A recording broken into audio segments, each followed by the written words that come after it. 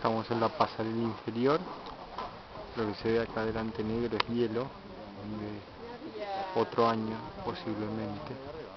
y todo el frente del Perito Moreno